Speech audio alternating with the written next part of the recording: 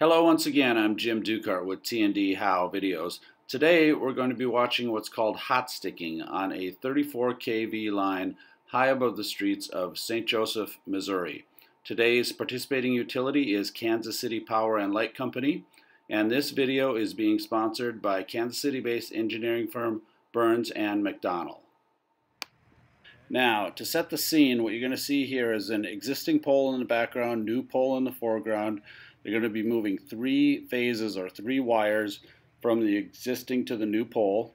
There's four linemen, two journey, two journeymen, two apprentices in two different bucket trucks, and one of the guys is wearing a GoPro camera on his hard hat, which allows us to give you this uh, perfect view, bird's eye view of them using hot sticks right now to untie what's called tie wire holding the existing lines down to some porcelain insulators. Um, once they, you're also going to see what's called a hot cutter here on the to the left, which is um, which cuts some of that tie wire around there.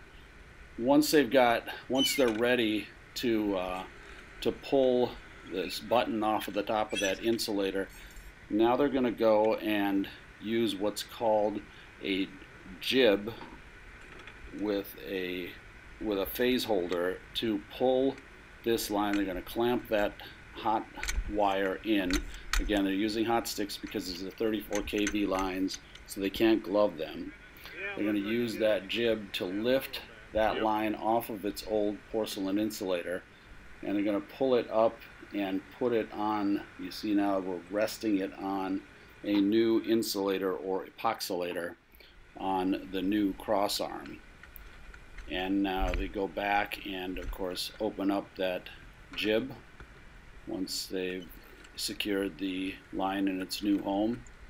And uh, you're going to see them now sort of doing putting the finishing touches on this tie wire securing a solid connection for that new insulator and the live line. And uh, there's the hot cutter again cutting part of that coil off of this line. So that uh, that's the first line that they've secured. Now they're going to put uh, what's called a conductor hood or an insulator cover uh, over this to protect against any incidental contact. Remember, we're going to see them do two more lines here. And now we're moving over to the other line. You see, this is on a temporary home that's called a hot arm that this jib is going to pull this line free of. Uh, it's a temporary cross arm put up there for this line transfer.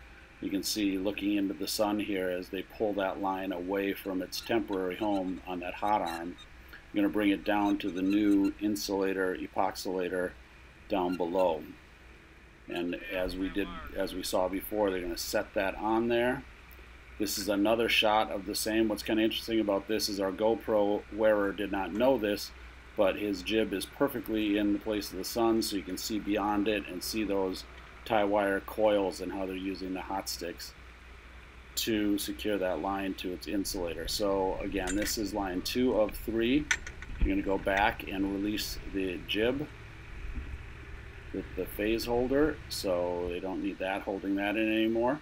Now we're going to switch around to the original side of the pole we were working on. Here's the second, the third of three lines, but the second on this side of the pole. You see he's tapping it in to make sure the grommet seats properly on that new insulator.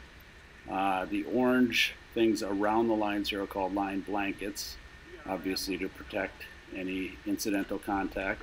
You also see that they can work from both sides of the line or the pole, uh, in this case, to secure the third of three lines or phases.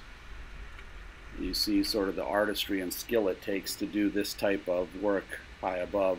Now they're going to take this bucket truck and go up and remove what's called a roller link stick and that has been used in connection with the boom truck to hold uh, line 3 out of the way until they could move it onto onto its new home and he's going to send that roller link stick down. He's going to come up in that same bucket and go and remove the hot arm. Remember that was our temporary home for the uh, for one of the lines while we moved it down. So he's going to unstrap that. In front here, there's a it's called a tie stick. That's the yellow tool that's going to push that pole pad up so he can bring that down.